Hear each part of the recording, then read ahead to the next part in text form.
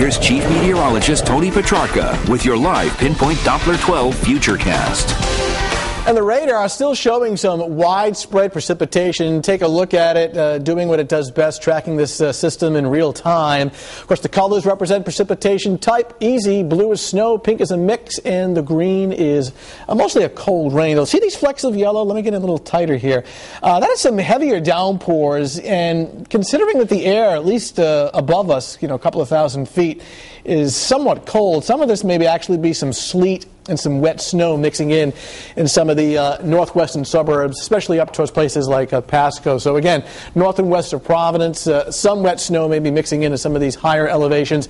Elsewhere, it's just a cold rain, and not out of the question to be getting you know kind of a slushy uh, coating out in here. While the rest of the area, it's just wet pavement. So here's the deal: rain and wet snow ending later this evening. Again, the wet snow confined mainly to the very high elevations north and west of Providence.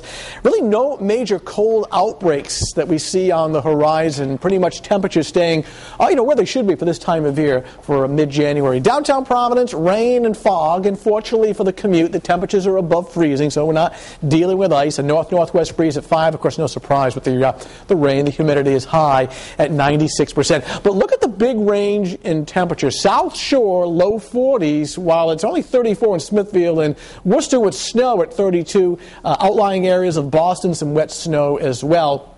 And again, most of us should stay in the form of just a chilly rain. As we widen out the view, uh, area of precipitation, it's small. You can see the back edge now has passed through New York City and Hartford, Connecticut. So, you know, give it several more hours and, you know, bye-bye, it's gone. Here's a wider view, and it shows uh, a secondary storm system near the uh, New Jersey coastline responsible for this precipitation. It will intensify, but once it does that, it should be far enough offshore so that it's not a, a major factor here as far as, say, real heavy rain or real real heavy snow. So for this evening, pretty much what you see is what you get for the next several hours. Cold rain, some wet snow mixed in the higher elevations. By 11 o'clock, it's just cloudy and damp, temperature at 35. And cloudy, drier overnight tonight from midnight to 5 o'clock in the morning. Temperatures dropping through the lower 30s. Bus stop forecast for tomorrow morning. I mean, not bad. A cloudy start. Should be drier. Temps between 30 and 34. Little ones heading out between roughly 7 and 8.30 in the morning. Of course, that includes the morning commute. And then during the afternoon, it's a blend of both clouds and sunshine sunshine. So we'll call it uh, partly cloudy, partly sunny. Temperatures in the upper 30s, so actually running a, a, little above normal for this time of year. Here it is, city by city and town by town for your Wednesday afternoon with that cloud sun mixture. A northwest breeze, a dry wind direction at 5 to 15, looking at 36 in Cumberland with partly sunny skies and not bad across the Cape and the islands. New Bedford at uh, 38 degrees. All right, jump ahead to the seven day futurecast. Nice, cool on Thursday.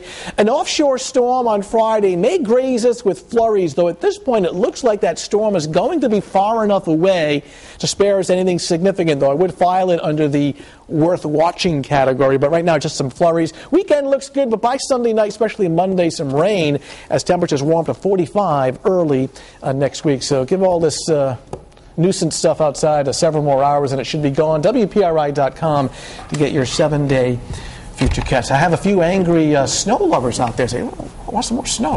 It's mostly kids. Angry snow well, it's, it's, mostly like 10 year olds. okay. And they can be really angry when yeah. they want to be. All right, thanks, Tony. Go